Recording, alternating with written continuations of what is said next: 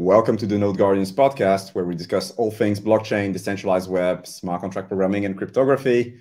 I am your host, Sam, and I am lucky to have with me today Daniel Lumi as a co host, uh, a good friend and a researcher tackling all sorts of matters from zero knowledge to decentralizing sequencers. And our guest for today is Bo Du from Polymer Labs. Polymer Labs is trying to bring IBC to a blockchain near you. And uh, yeah, I think it's the first time that we get to to have you on the podcast. So this is a pretty exciting time. Bo, it's a pleasure to have you here. How are you doing? I'm doing fantastic. Uh, you know, thanks, thank you guys for having me, and uh, really excited to be here to talk about what Polymer is doing, IBC, because we're really excited about IBC and how we can bring IBC to other chains. Okay, before start diving into all these um, all these things, it would be nice to know a little bit more about your background, how you ended up working in crypto, how the whole transition process happened for you. Yeah, absolutely. Um, my personal background prior to working in Web3 uh, was on distributed systems and database systems. So I had spent some time working on an open source time series database called M3 uh, at Uber, um, and also ended up leaving Uber to uh, start a company called Chronosphere. I joined them as the first hire, helped them scale their team, continue working on this open source time series database.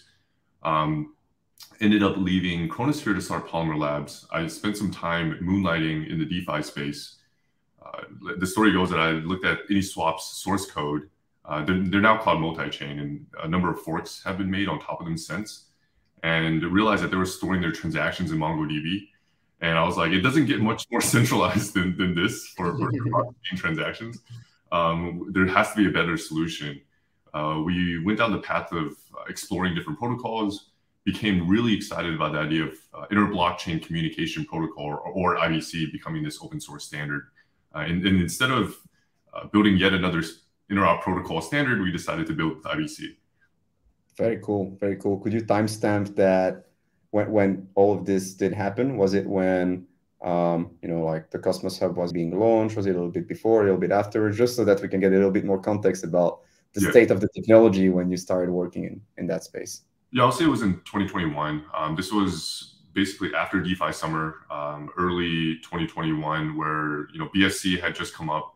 Um, AnySwap popped up because you know people wanted to start bridging tokens, and you had a number of other token bridges pop up uh, thereafter. And the exploration started uh, probably in the spring to the summer, uh, and all the way into the winter. Um, I think over time, it wasn't that we found IBC and we're like uh, immediately like this is the right solution. We did spend some time exploring, uh, trying out alternatives, uh, looking at what other businesses were doing in this space. Um, but over time, we grew increasingly confident in IBC being being that solution. Cool. Yeah, tell us a little bit more about your mission at Polymer. Uh, what are you guys uh, mostly focused on at the moment? The, the challenges. Yeah, so I think first and foremost, uh, we want to make IBC the universal standard across all blockchains. There's been a quite a bit of work done on the open source side, uh, as you guys have seen with our work on multi-hop IBC. Uh, we're working on ex extending IBC or adapting IBC to work with modular blockchains right now. Um, there's a lot of work to be done there. Uh, and then uh, in terms of the actual productized version of IBC that we're building, or, or essentially a IBC hub, uh, as Polymer. Uh, the goal there is to make it very easy for chains to integrate IBC, since that's when one of the uh, major complaints about bringing IBC to other ecosystems is that it's in some cases it's it's hard to do or almost impossible to do uh, natively on a particular chain. Okay, and so if I get it right, you're basically trying to prove uh, the interchain standard consensus mechanism being Tendermint on target chains uh, which have different specs, right? So that's just the first step. I think there's yeah. some confusion in the space about IBC being just anything that has like clients is IBC like, or uh, if we can prove Tendermint consensus that we have IBC, uh, that, that's just the first step. Uh, obviously, it's, it's, better to prove the consensus of a chain, or uh, rather than using a, a multi-sig.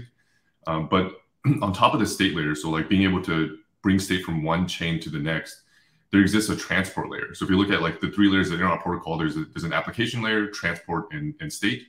And this transport layer is the formulation, essentially the commitment produces a commitment to all of the data that's going in, in and out of the chain. So every all the data that the chain has received and all the data that the chain is, is trying to send.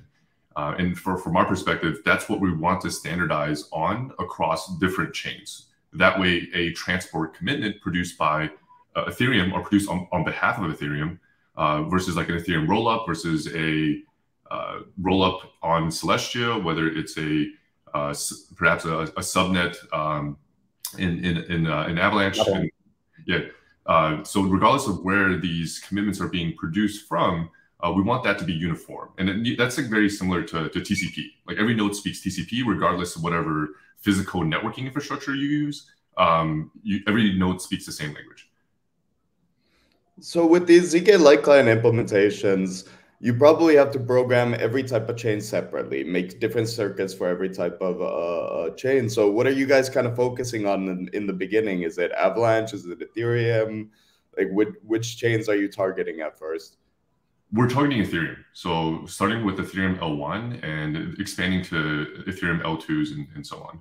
Okay, Go going back to this concept of transport layer, application layer, and the analogy with HTTP for the application layer, TCP IP for the transport layer.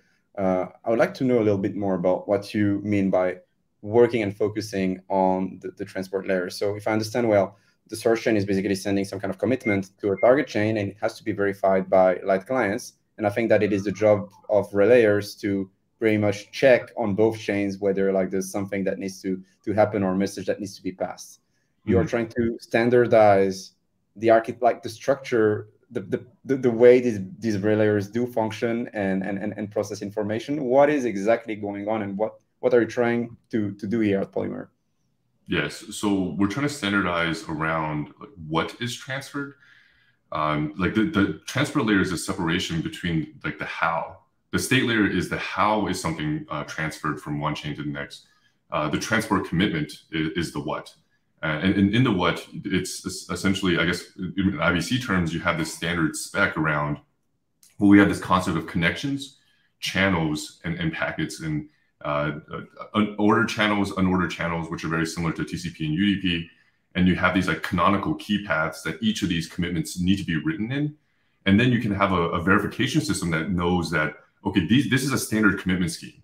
Um, there's this uh, ICS 23 proving system on the um, on the IBC side where you can generalize Merkle tree form formats and essentially be able to prove in this tree uh, of, of, different formats, like different types of data structures are supported, um, that uh, a key is in a canonical path or in a canonical location. So you have this like standardized verifier logic that you can then like add to any different chain so that that chain knows that if I'm getting a transport commitment in a format that I understand, TCP, for example, I will know how to process this commitment. I will I will be able to look in this commitment and identify all the messages and all the conversations that are going on, um, and, and that and that's very important for for true like interoperability be between chains. All right, and the way you're trying to get these messages to travel from chain A to chain B involves some kind of hub. You are mm-hmm. working on some kind of polymer hub, which yes. would be some kind of uh, yeah, like some hub and spoke model, some some tower that redirects any payload, any packet from from uh, yeah from its source to, to to its target. Okay, I would I would love to know a little bit more about why you went for this design choice instead of just having sovereign systems like pinging each other or, or, or, or, things like that? Is it to reduce overhead and bloat and useless communications and networking? Um, yeah, I, I, would love to know a little bit more about that. So definitely to reduce the overhead of number of connections. Uh, the hub itself also serves to run a, say like an IBC workload. We have this concept of transport layer separation. So Polymer Hub can separate the transport layer from the chain that is connected to it. Uh, we have this like virtual chain concept, and it's like internally this virtual IBC concept, where we say that on behalf of Ethereum, Polymer Hub can produce a transport commitment. So now you have the separation of the idea of a state commitment and then the idea of a transport commitment. So the state commitment is committed to all the key value pairs written to the state of the chain. And a transport commitment is a commitment to all of the like in and out data, the networking data for a chain. Um, and I, I, think like motivating the separation of the two is very important uh, because this leads itself into like uh, zero knowledge tech and how do you make this uh, host system much more trust minimized. Uh, go ahead, Dan. So you mentioned uh, in a way it, that chain holds the the state of the truth, what commitments have been made is part of that decision to use uh, blockchain as a database, which are not the most efficient forms of database. Um, uh, like you could, some of this you could do just via peer-to-peer communication via like libp2p. Mm-hmm. Um, is part of the reason that you do that so you can actually slash um, actors if they don't perform their duty. Yes. Or it, yeah. Yes. Um, it's because in, in, the short run, this hub needs to maintain a certain number of like in the world where everything's zk, and you can have like zk efficient zk like clients for every chain consensus or execution. Obviously, execution is even better, um, and you can have the fork choice rules of all these chains encoded in these like circuits, and you can have uh, all of the transport commitments. Essentially, like we, we call it proof of transport so these like zk transport proofs also be computed from uh, some like state commitment, derived from some state commitment on chain. And in this world where everything's zk, technically you don't you don't need a blockchain. Um, but this is like long tail of like chains where you won't have efficient consensus algorithms that can be encoded into a circuit. Um, if you look at like even the Ethereum 2 like uh, Altair Light Client Committee, uh, the Sync Committee spec uh, encoded into a, a, a, circuit, I think the Sync folks were at 100 million gates. Um, you get these like massive gates for for some for some of these algorithms, and that doesn't even capture the entire consensus of, of the Ethereum chain. Um, so that I, I think in, in, in, the ideal world, you wouldn't need uh, a, a, middle chain, but in the world where you know you have all these different chains, not everything can be converted effect, effectively into a circuit. This middle hop can manage a number of different connection types on behalf of uh, other chains in this IBC network. So the idea is like, let's say you're bridging from Avalanche, just to make it easier, Avalanche to Ethereum. Do you actually submit the proof um, onto, do you verify the proof actually on the hub and then you go back out to a different spoke? Or do you actually submit the state of uh, Ethereum, for example, onto Avalanche, Avalanche onto Ethereum, and then you have to have the state of every connecting chain on each other? Oh no. The, the, the hub will manage these. Uh, so in in, term, in IBC yeah. terms, the hub will manage these IBC connections. So the hub will publish its consensus onto the chain that it's connected to, and then verify the consensus of a counterpart chain that is connected to. And with multi-hop IBC, you can yeah. now hop over these like multiple IBC connections uh, and have these yeah. IBC channels defined over them. Very cool. Okay. Yeah, that amortizes um, the cost equate uh, a fair bit as well, and the technical complexity. But but this does add a trust assumption on the middle hop. So the middle hop does become a bit of a, a weak link. Um, there, there's certain, uh, I would say, like guards you can use to, to help this. Uh, one of them being that uh, you, you, can say, well, I can have maybe Babylon be like a third party, like checkpointing service, where like perhaps um, if, if I'm going through a few middle hops, but the the source and destination on the destination also has some maybe it's using Babylon already for um, uh, fast withdrawals or fast unstaking um, or fast unbonding. And you can then verify the on the Babylon client the source of this the, the original chain. So even if you're going through multiple hops using multi-hop IBC, you kind of have this like third-party checkpointing mechanism you can check as a as another source of truth uh, to to increase the security. Um, we I haven't come up with a name for like this. like kind of we're trying to come up with a spec for conditional clients on the IBC side. So the ability for clients to express dependencies on, on each other. This is very key for modular blockchains. Um, and it, it, can be good for security as well, since now you can have like multiple clients confirming a single uh, uh, a sort multiple clients combining to com, uh, convey a, a source of truth. Okay. Okay, and how does this technology fit in this new like shared security paradigm, replicated security paradigm that we have lately uh, within the interchain, like all the, the Cosmos SDK based chains, and now even beyond with the with propositions like the ones on, from Eigenlayer? Yeah, so it, it fits pretty nicely. Uh, I think the ability to abstract clients at the state layer of IBC, and like a lot of folks think of clients currently as only like clients that only represent consensus, but that's not necessarily true. You can have clients that represent an like attestation from Eigenlayer restakers on some data for additional security. Um, you can have clients bond tokens even as to serve as like attestations for the consensus of a chain. So you can add additional security to some of these like IBC connections. Um, you can have clients that you know abstract different layers of the uh, modular blockchain stack, uh, which like rollups will inherit inherit security from the data availability layer that they're on top of. Um, so in this model, you can have uh, connecting to a, a rollup on a, on Celestia, you can have a IBC enabled chain run a client for Celestia, uh, potentially a client for the sequencer, if the sequencer is if the rollup is not using Celestia for sequencing, and then also a client for the rollup itself. So you can have these like multiple clients that represent this this single rollup. So you kind of get this. Uh, you get the in the connection itself. You do get security from uh, the data availability layer that the data availability layer provides for the for the rollup. Okay, and for the community and people that are not necessarily familiar with your work at Polymer Labs and the implications of using such a solution to actually build a composable system or um, I, I, don't know fetch data that is um, like interact with contracts that exist on other chains or send assets. What would be the, the differences in terms of experience cost and the overall implications the facility to the, the ease to build with a system like polymer versus other non-canonical systems that are out there? Yeah, so I would say that building with us is the same as building with IBC uh, yeah. in, in, general although to be transparent, uh, building on top of IBC is is not entirely smooth. I think we're still working through a lot of uh, I would say like VM to IBC integrations that are not consistent across different chains. Even if you look at all the EVM chains in the Cosmos, um, they tend to not have the same integration, um, and they tend to go about the integration in different ways. So I think the a, a big push this year is going to be standardizing on the way IBC is integrated into the different virtual machines starting within the Cosmos. Obviously, when we activate the um, IBC outside of the Cosmos on those virtual machines as well, and we want to be able to have people. We want people to be able to have a unified experience building across these different chains. So I would okay. say that building on top of us is similar to building on top of IBC. Well, the goal of Polymer is not to make uh, the dev experience better, but to make it easier to integrate IBC into these other chains and to also improve uh, other things like performance uh, and, and trust minimization in, in the long term, et cetera. So, uh, from a security point of view, like I like us being upfront and forwards about the security of bridges because we do need cross-chain bridges, and IBC is one of the like genuinely one of the mo- more elegant designs that I've seen.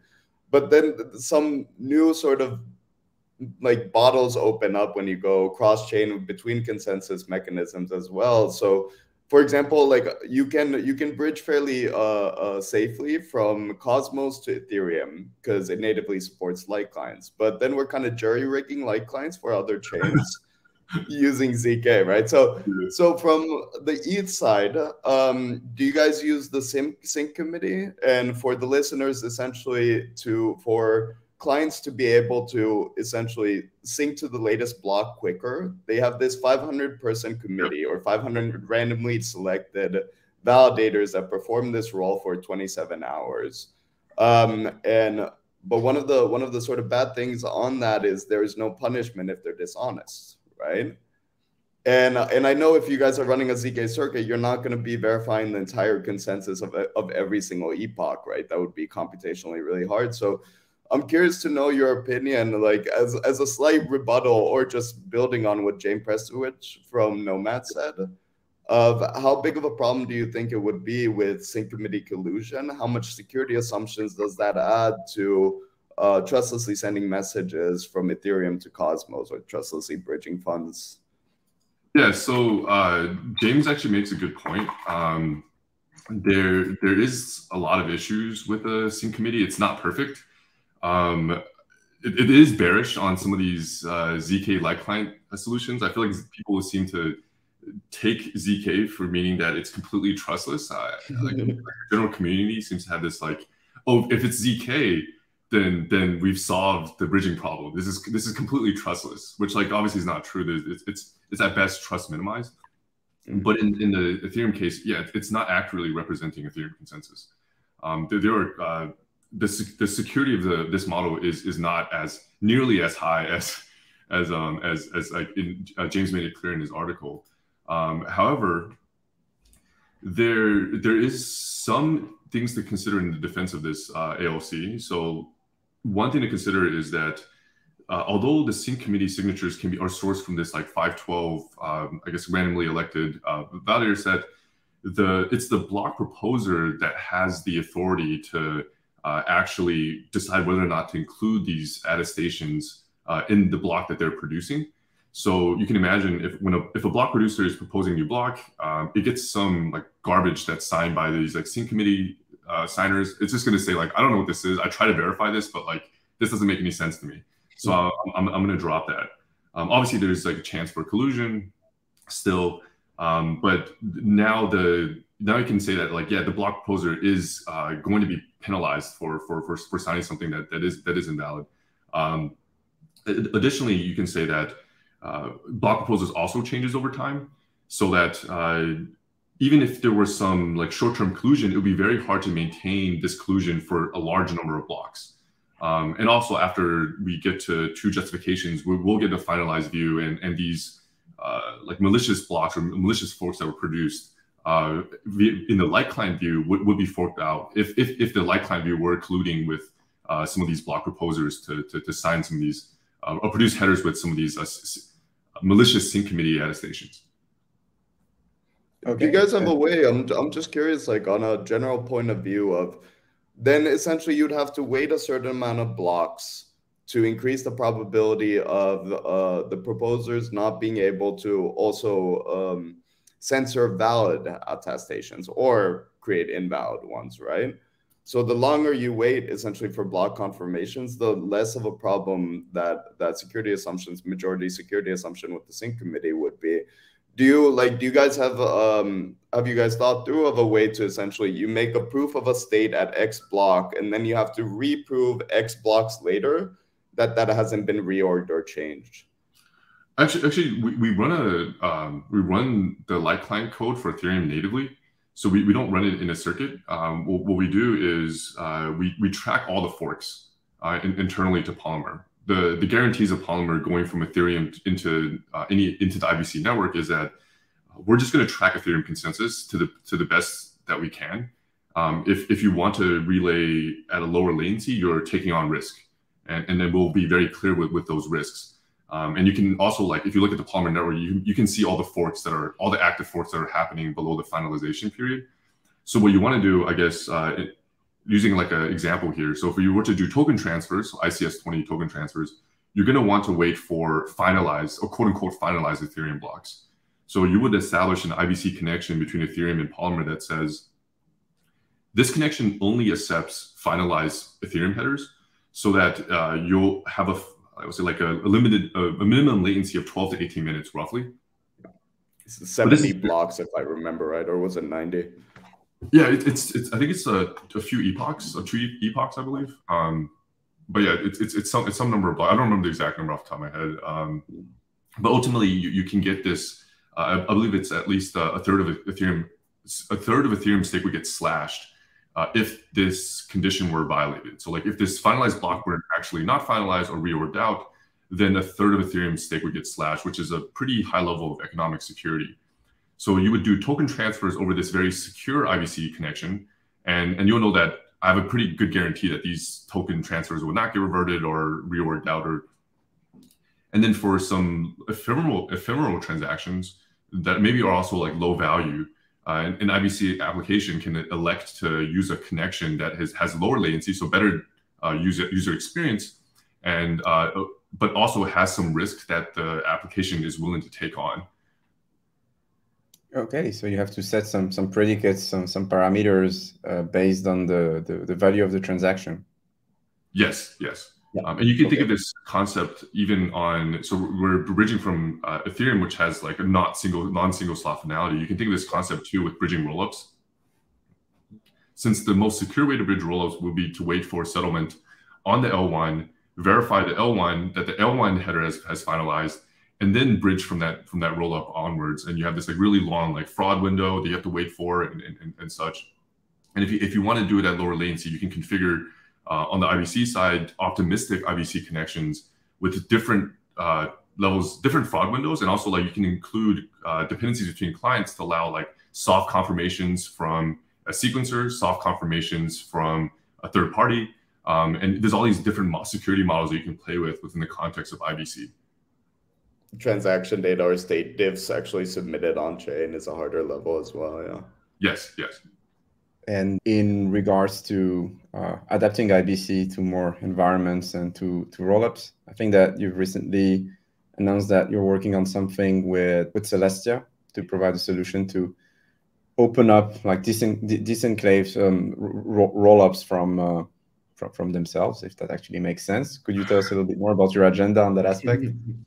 Yeah, so this is just general open source IBC work. Um, it's uh, I guess like some of the conditional client stuff that I was talking about uh, up until this point, where in order for uh, IBC enabled chain to uh, confidently speak to a rollup on Celestia, they need to be convinced of a few things. They need to be convinced of the proof of a few things. They need proof of data availability. Uh, they need proof of transaction ordering, um, essentially like a proof of like a fork choice rule. And you also need proof of execution. So you would source these three proofs from different places. Potentially, you could be running a uh, Tendermint like for the Celestia network that has proof of data, data availability. So now you know that the data has been made available. I can now open a fraud window because if the data hasn't been made available uh, and you start the fraud window, uh, you may people uh, people made fraud provers may not be able to g- generate fraud proofs if they can't act- access the actual data. So now you open this fraud window, um, and then you're looking to the, uh, the, the sequencer or whatever one is producing this uh, proof of transaction ordering proof of the fork choice rule as the canonical block. Um, and then you're looking to the execution environment uh, for the proof of the, the, state transition was correct.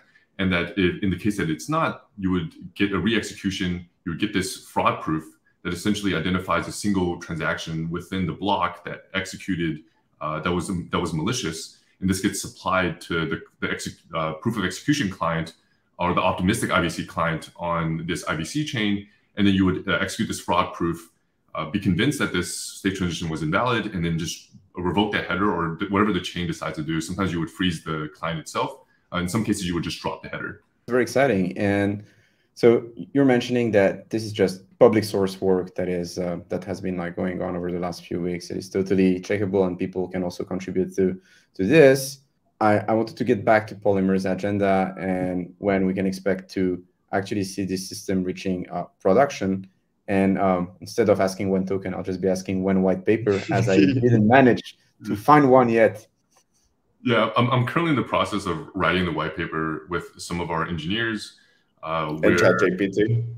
Yeah, yeah, yeah. we, we, are using uh, it's secret GPT five. we got we got we got beta access. It's it's it's the white paper edition. Uh, we just edited like, crypto white papers, and it's and it's also writing ours. Um, so so we're we're in the process of writing the paper. Uh, probably release that close to around testnet, but likely we'll release it um, in I guess a uh, in, in, waves, probably like our closest investors first, and, and, and then so and then outwards from there. Um, but uh, but yeah, like I think I'm around like 30 pages in, and I'm not anywhere near finished with the paper. There's a lot of ground to cover internally. Um, un- unfortunately, I, have been trying to be very succinct in all the different sections. Um, succinct is kind of okay. Yeah, um, yeah. I was, I was waiting for that. That's. um, so, so we're looking to launch testnet uh, in the middle of this year, um, and we're looking to launch mainnet uh, hopefully into this year or early next year. Um, and uh, also hoping that when the white paper comes out, it'll be a lot more clear, like exactly what we're doing, what the architecture is, uh, why, why we think it makes sense. And in this paper, can we expect you to cover how you make um, such a system economically viable, the whole game theory behind it, and the model to mm-hmm. to make um, to make this yeah viable? Yeah, we'll have a, a I guess like a, a tokenomics section, but uh, I, w- I would say that the expected workload on top of Polymer is mostly going to be on the in, in the form of uh, verification of the consensus of other chains. The computing transport commitments is not as computationally expensive. Uh, it's mostly running a light client. So like the more IBC connections that uh, our chain has, the the more compute de- demand that there will be. Okay, that's the, the the, the whole economy. So you're you're you're paying for the, the computation to to verify um, yeah the consensus. And there's also this whole uh, yeah message passing kind of relayer form of like activity running a light, light client if that makes sense. Yeah. Okay. Oh I, I wanted to also mention that there's on, top of that there's this idea and then like there's something that's not um, i believe it's not properly handled uh, in, in any uh, interop in any interop protocol. Um, and, and what i'm talking about right now is kind of like a, a self-contained ecosystem for incentivization Um, it's, it's I'm, I'm, under the impression that a lot of these, uh, I'll say like, know, our protocols they have incentivization models where like maybe it's just like for the app transfer, like usually have some like token bridge that they build, and just for this token bridge uh, and this this, like, token transfer systems, they'll be able like take some fees. That's not generalizable to interop in, in general. With interop, you have a, a few different costs. You have the cost of relaying a packet, which which would be like posting the packet on their chain and and relaying this packet across. But you also have the cost of uh, client updates. Whether the client update is in the form of like a single oracle or it's in the form of the of a proof of consensus, regardless of the actual proof, there's a cost to doing the client update as well. Uh, IBC has a specification, ICS 29, for specifying fee payments for packets and how to how this can be incentivized in a trustless way uh, like to allow like relayers to register accounts at the application layer of IBC and also be able to take fees there. It doesn't account for client updates. So we're working on a uh, specification for client update incentivization that would allow this whole thing to become a, a enclosed loop. So right now, um, for anyone that runs like validators or infrastructure and IBC, they know that uh, they generally are running relayers at cost, at least for the client updates um, it's it's not ideal. Maybe you get a grant. So generally, people don't run these relayers uh, if they don't get a grant from uh, a particular chain to say like, you oh yeah, the community pool. You can just yeah, ask community pool. exactly. um, like that's very manual and, and, it's not ideal. But we want to create turn this into a self-enclosed economy where there's some like game theory around like, oh well, if I want to relay a packet faster, I can incentivize a client update now. So like if, if I inject into like the incentives pool for this client update, like X like X amount of uh, tokens, I can guarantee that my packet gets relayed immediately. That's like I'm, I'm desperate. Like I'm, I'm I need to get this packet across. If I don't care about this latency and, I, and I'm willing to wait a little bit, uh, I can also wait for the I can I can add some incentives and then wait for the update to take uh, a little bit longer because I'm like, okay, if, if I'm only supplying a little bit of incentive, I probably have to wait for like a bunch of different packets to be queued up and, and have these re- uh, incentives trickle down to the point that it actually makes sense for a relayer to, to, to, re- to relay this, this client update. Um, you can also imagine that this actually makes it really interesting for, for client level providers. So like these like state providers of like how to bring state from one chain to, to the next, they all have different cost models, different cost models, different security models. Once you have this incentive incentivization layer on top that's standardized, what you'll have is this like economy of like different like cloud providers be like, oh yeah, use our service. Like, like these are our trust assumptions that you, you, you will have using us, and these are our costs. And maybe someone someone someone can even charge like higher fees than, than others because like as a cloud provider, you can also you would also be able to charge fees. But you can say that you have this like economy where there's like a lot of competing client level providers for uh, different connections, and if there's no like rewards, there's no incentives there. There's there's no incentives for them to to, to compete there. Uh, but now you have this like really interesting like like these market dynamics happening um, w- without like the needing of like a community pool or like these like very like manual mechanisms.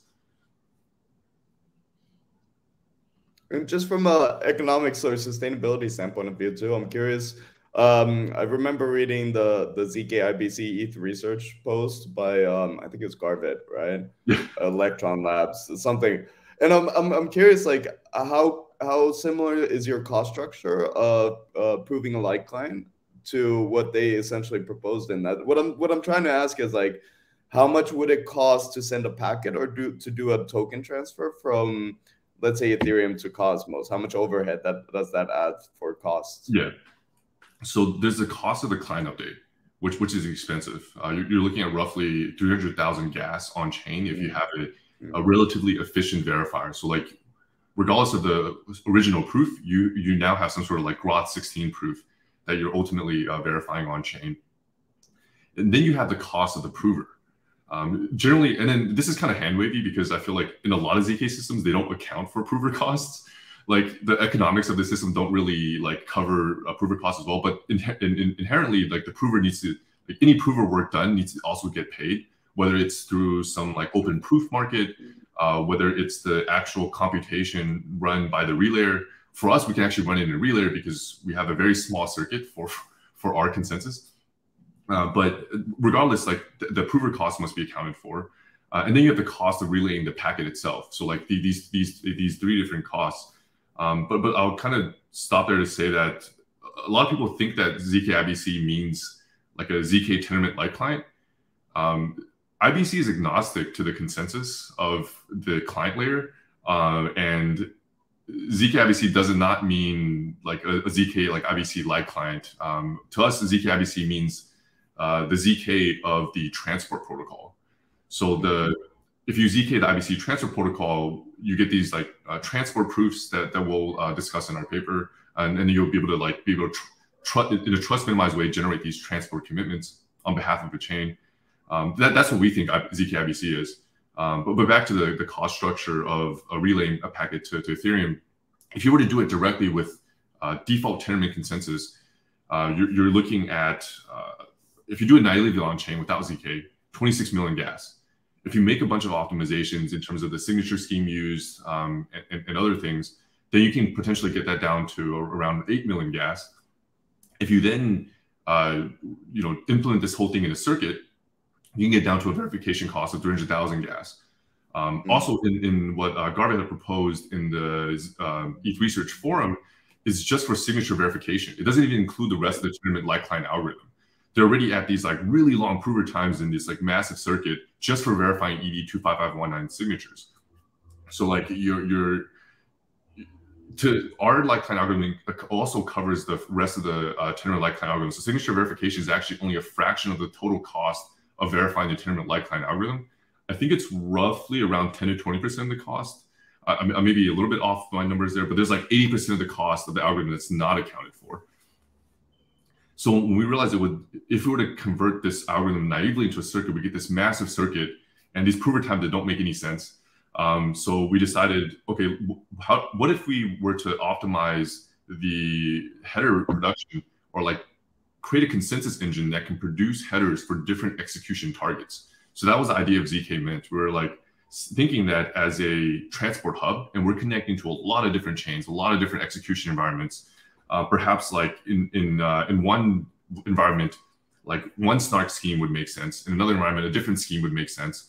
Um, in, in one environment, they have X, Y, Z precompiles. In this other environment, they have like you know a, a different set of precompiles or like different set of optimizations that you, that you can leverage.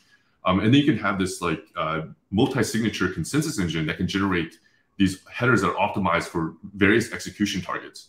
So what, what, what we were able to do for verifying Tendermint consensus on Ethereum is that we were to generate this really efficient circuit. So we made a number of optimizations. Uh, we only have 500,000 gates for our circuit.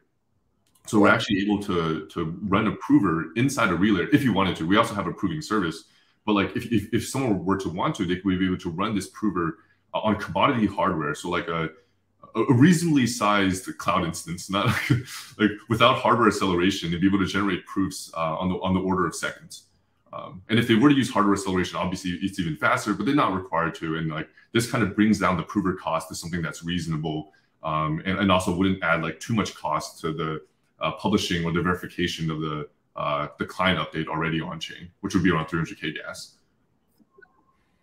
Okay, and what type of proofs and primitives are you using in that in, in, in that scheme? Right now, we're using Groth. So we have a similar to uh, I would say um, like Succinct. We have, we have a Groth 16 circuit for the, the full Tendermint light client algorithm. Uh, we've implemented it for the non-adjacent header verification algorithm so that we can lazily submit headers.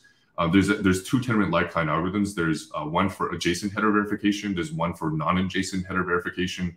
Um, there's some internal details around like unbonding periods and like things you need to check um, for like uh, certain attacks you need to check against. Uh, but but in the light client algorithm, the non-adjacent ones gives us nicer UX since like now we can like only lazily relay within some like time. We have to relay at some point because um, if you don't keep the client up to date, it'll go it'll grow stale. Um, but we're, we're, allowed to uh, publish headers at, a lower frequency, which improves the performance as well, or the, or, or the overall cost.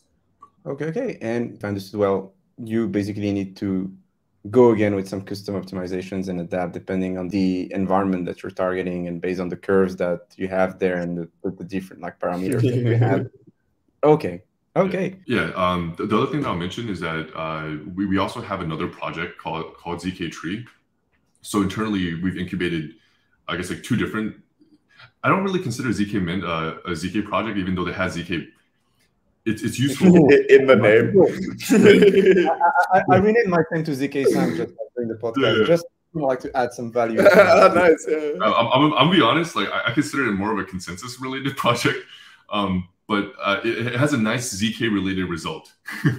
um, with, with, zk tree, it, it's more in the zk domain where it's a um, essentially a formalization around how to recursively com- uh, compose pr- proofs together of different types of different schemes in, into a tree format. We've we've published a, a paper on this and, and the idea there is that we want to optimize for verification costs on chain. The idea is that if you can share the verification costs on chain with a variety of use cases, uh, my, my, thinking goes along the lines of like a, a, shared sequencer for ZK proofs. Like we have, there's like so much talk going on about like shared sequencers for uh, rollups.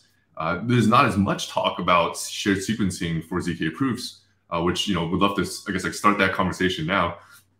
But the idea is that if at the at the um, on the leaf nodes of the zk tree, if you were able to include like Groth16 proofs, uh, Plonk proofs, or various flavors of Plonk proofs, so with Plonk with every Plonk with a different set of custom gates is technically a, a new construction or, or a, a different construction because it changes the, the, the scheme and, and, the, and the prover and the verifier.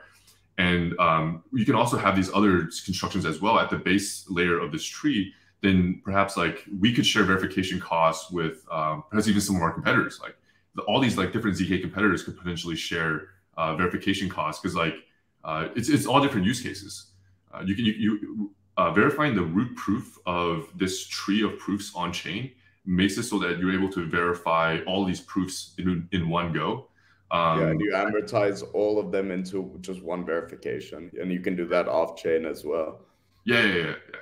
Yeah, and the, like the proofs, if you if you look at the construction or like linked together, we're, we're hashing the circuits of uh, ch- children nodes of the tree um, with the in- public inputs of uh, as well together uh, in the parent node, so that we create this kind of like uh, linked list structure of uh, cryptographic commitments to the public in, ins and outs and the actual circuits that we're proving um, to kind of build this relationship uh, across this this this tree. This is actually zk tree that that's not to be like mixed up with zk mint. Yeah these are two separate things. Um, yeah and all this is actually it's actually one of your open source initiatives that you're maintaining at polymer right? Yeah it's open source. Uh, we've instantiated so zk tree can be instantiated with any zk construction. It's just like a generalization around this data structure. Yeah. Um, it, it looks like a tree. Um, it it also like produces like a Merkle commitment, but it can be instantiated using uh, any, any type of scheme, whether it's Plonky 2, uh, I can imagine it being possible with Halo 2. I can imagine it being possible with Nova, um, with, with a lot of these different schemes. We've instantiated with Plonky 2. We're also exploring uh, Nova as well right now. Um, but the first pass, uh, uh, the, code, the, the code is open source. So um, people that are interested in Plonky 2 and ZK can take a look. Wonderful. And so, of course, we can contribute to it as it's open source, but I also believe that there are some maybe some vacancies and ways to get involved at Polymer Labs. Yeah, so we're working on supporting different proof types in Plonky 2 right now. Um, yeah. in terms of the, the leaf proofs of ZK tree. So um, yeah, so so like if, if you know people, folks are interested in collaborating on that, um, we're, we're open to uh, our, our ZK researchers are open to collaboration. Amazing. I think that we've been covering quite a few aspects of uh, the Polymer stack. Is there anything that we're missing? Some alpha, something that we didn't cover, something that's coming up soon? Uh, Bo, yeah, I, I, guess like not anything specific. Um, I, I guess uh, maybe some just like high level things about like how to think about Polymer um, might be helpful for viewers. Like we, we're trying to push the idea in our paper of, uh, and I, I guess I've spoken a little bit about it, like this idea of like, what is the transport layer of interop? Uh, what what what does transport layer separation mean? What's a transport uh, commitment, and what is a transport proof? So to, de- to define all these three in, in one go, I would say that the, the transport layer is the the data that's the networking data that's going in and out of a chain. Um, and the transport commitment is how do you commit to all that data that's going in and out of the chain? And the proof, or the transport proof is how do you prove that that commitment was uh, computed properly? So the long-term vision for Polymer is that it, it is an IBC hub that can do all these these three things in one which is one, it can separate the transport layer workload from the chain itself. It can produce a transport commitment uh, on behalf of that chain. And then it, it, can also generate a transport proof that that commitment was generated properly. And this, all of these things are tied together, and it needs to sit on top of a provable light client layer as well. Because if you can't prove the state transitions of a chain, you can't prove other things as well. So that's the first step. Um, like, like ZK Mint is in that direction. Um, even though the work that a lot of these other uh, ZK organizations around interop is also helpful there as well. Um, so like all these things are connected. Uh, and if you look at the big picture, it's how do we make IBC like very generalizable, easy to integrate, and also as trust minimized as possible. Okay, I like to see it as some kind of post office with anti-tampering stickers uh, to basically prove that the actual packets are properly sealed and are backed with integrity. Yeah, yeah, exactly. Um, so like when, when, on, on the like the long-term vision is that when a source chain receives a message, the proof that they receive as well will be proving that the the uh, consensus or the execution of the chain of the sender, it'll be it'll prove the uh, that the transport commitment made behalf on all the like IBC related events emitted on the sending chain was done properly, uh, and then you can have this like kind of like proving that the state proving of the state transition, proving of all of the data in like in and out, um, all in one uh, when when the when the uh, receiver chain re receives this. Pretty exciting, and I yeah, I it's, it's really exciting. Yeah, yeah. Uh, that that wraps up that that that episode, and I would like to thank both of you again for for coming on the show. Really appreciate your time and your expertise, and as usual. I'll be leaving all the relevant links in the in the description if you guys want to connect with the Polymer Labs team, the Discord links, all the documentation, and all the references um, all the documents that we've been quoting during the podcast will be uh, will be down there. And if you have any questions, feel free to ask them. Daniel, Bo, uh, it's really been a pleasure to have you on the show. And again, if you have anything to add, please, you're welcome to do so. Otherwise, we'll probably get to to do a, a checkup in a few months once uh, Polymer reaches a new a new level of the of its roadmap. Yeah, absolutely. Would love to come back again once we've uh, we have a white paper ready, so that there's please yeah, it's, it's, it's, I have binge reading now. I'll spend the next three weeks sitting through your 130 page white paper. Oh, I hope it, I hope it's not that long. It's gonna take.